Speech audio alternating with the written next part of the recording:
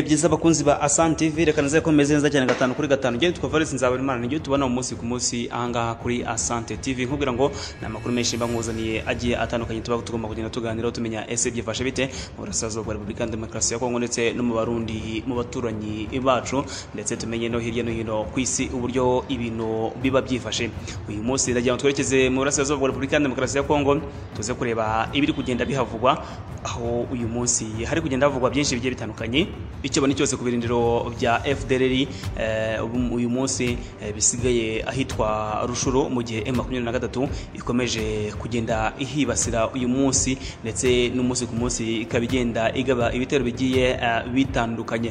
Uyu munsi ikindi ntabwo nuko uyu munsi perezida Evariste Ndayishimiye yakoze impinduka mu gisirikare ese arashaka ko uyu munsi bigenda bite? Ikindi nabwo nuko hari mu burasirazuba Repubulika Demokarasi ya Kongo nuko bwato bwari butwaye imiti ahitwa Iminova bwarasiwe mu Kivu. Ese byaba byagenze gute kugira ngo ibi byose bibi wenda duhereye hano mu Burundi ahangaha mu baturanyi bacu hakomeje kugenda havugwa inkuru zigiye zitandukanye zirimo iza Red Tabara ndetse n'indi mitwe yindi igiye itandukanye igenda ihavugwa umunsi ku munsi nuko uyu munsi. Perezida Evariste Ndayishimiye u Burundi yakoze impinduka mu gisirikare zasize ahinduye imirimo abarimo witwa General de Brigade Eya Ndazigiye byasaga naho akuriye ingabo z'u Burundi ziri mu ntara ya Kivu y'Amajyaruguru. Uyu munsi akaba rero yagiye amuhindurira imirimo. Iteka rya perezida ndayishimiye ryo kuwa kane tariki ya cumi na kane werurwe ryerekana ko generali ndizigiye bakunze kwita muzinga yagizwe umuyobozi wahitwa ni diviziyo ya mbere y'ingabo zirwanira ku butaka. Inshingano rero yasimbuyeho generali de brigade Dominique Nyamugaruka. Uyu nguyu akaba ari we wagizwe rero umuyobozi mukuru ushinzwe abahoze ku rugamba muri minisiteri y'ingabo z'u Burundi ndetse n'abahoze ku rugamba bose. Akaba ari uyu munsi ubashinzwe. Uyu rero ugenda avuga uyu amakuru avuga ko yahawe uriya mwanya usa no kumumanura mu ntera nyuma yo kunanirwa kurwana ndetse barwanya uriya mutwe wa Red Tabara umaze iminsi ugenda wigamba ibitero bigiye bitandukanye ndetse no kuvuga kuba warishe abaturage bagiye batandukanye hariya mu Burundi. Akaba rero ari umutwe wagabye ibitero hariya. Amakuru agiye atangazwa avuga ko hapfuye abantu bagera kuri cumi n'icyenda. Mu cyumweru cyashize ndetse bakavuga ko abasirikare bagera ku icyenda ari bo baguye muri iyi mirwano yabereye hariya. Undi rero ndayishimiye yahaye imirimo ni uwitwa koroneri Oscar Nzuha Bonimana uyu nguyu akaba yagizwe umuvugizi ushinzwe amabwiriza amahugurwa imyitozo ndetse n'ibikorwa mu bugenzuzi bukuru bwa minisiteri y'ingabo ndetse n'abahoze ku rugamba. Uyu nguyu rero Nzuha Bonimana uyu nguyu akaba ari we uyu munsi ugiye kuba akurikirana ibi bikorwa bigiye bitandukanye hariya bijyanye n'igisirikare mu burasirazuba bwa repubulika ya hariya ya Kongo kuko uyu munsi hari ibikorwa byinshi bigomba kugenda bihakorerwa ndetse byagizwemo uruhare n'aba basirikare.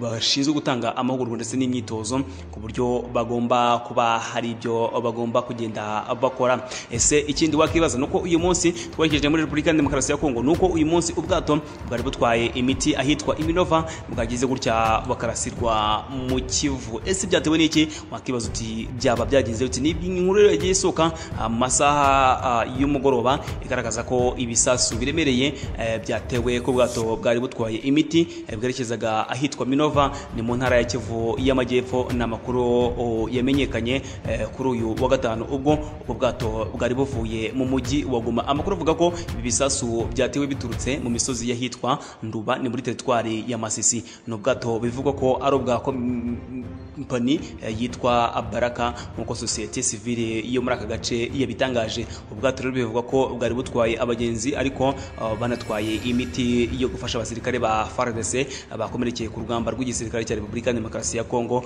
uyu munsi gihanganyemo n'umutwe wa M23 iyi miti rero yagombaga koherezwa mu gace kahitwa Minova ahari ibitaro bivugwamo ko ari byo bivurirwamo abasirikare ba FARDC FDLR ingabo z'u Burundi ndetse n'izo mu mutwe wa Zarendo muri iki gitero nta muntu uh, wakiguyemo ariko ubwato uh, bwangiritse bikabije cyane. Ni nyuma rero yuko hari amakuru avuga ko nubwo hari ubwumvikane eh, bw'agahenge hari hasanzwe havugwa imirwano. Mu ntara y'ikivu y'amajyaruguru uh, bivuga ko hari ibitero uyu munsi eh, bitungurana bihangayikishije impande zombi ndetse eh, bikanabangwa ko uyu munsi FARDC ikomeje guhunga yerekeza ahitwa Beni eh, ni mu duce twahitwa Butembo ndetse ahandi eh, naho hagenda havugwa nuko havuga ko uyu munsi bari kugana ah, mu ntara ya Kivu y'amajyepfo umunsi ku munsi bifashisha ngo barebe ko ariho babasha kuba bahungira ah, uyu munsi umutwe wa M23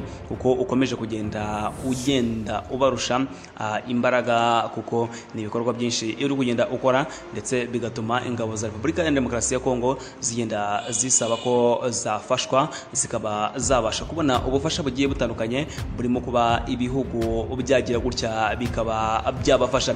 Iki ntabwo nuko turi kirarira muri Repubulika ya Demokarasi ya Kongo nuko uyu munsi eh, uyu munsi eh, ni FDLR uyu munsi irashiraniwe cyangwa se irimo iratakwa bikomeye cyane kugeza ubwo uyu munsi. Ubwo bari bwinshi batinya ko M23 ikomeje kuba yaza ikaba yabibasira ndetse ikaba yagira n'icyo ibatwara.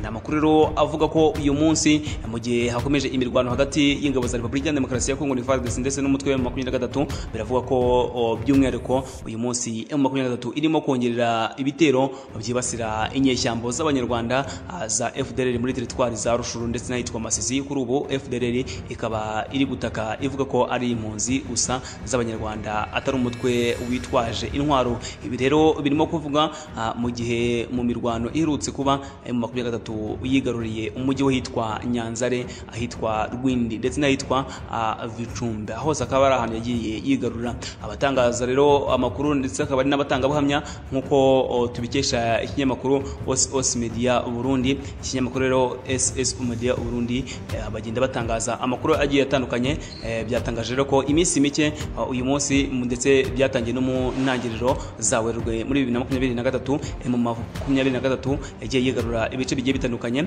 muri utwo duce dutandukanye. Kuri ubu rero abarwanyi b'umutwe M23 bari ahitwa uh, Sheferi ndetse eh, uyu munsi navuga ko bari kwerekeza ahitwa za Bwito n'ahita Bashari ni mu birometero birenga mirongo irindwi mu majyaruguru y'uburengerazuba bw'umujyi wa Goma ni hafi rero ya teritwari y'ahitwa Warikare ndetse n'ahitwa Lubero. Uyu munsi rero ah, bemeza ko rero ah, kariya gace gashya ah, kaho uyu munsi eh, nako ari agace bagomba kuba bakibasira bakaba babasha kuba bagafata mu buryo bworoshye ndetse uburyo bavuga ko oh, butabagora cyane bigendanye n'uburyo baba bariteguye baba bagomba kugenda berekanamo urugamba. FDL rero oh, uyu munsi mu ntambara navuga ko oh, isa nkaho ivuga ati twebwe turashiraniwe ati tugomba kugira natwe tukareba uburyo twakitabara tukaba twarwara n'uyu mutwe wa M23 muri kimwe rero M23 yakoze intambara ah, muri Nyanzare abaturage bagaragaza ko imirwano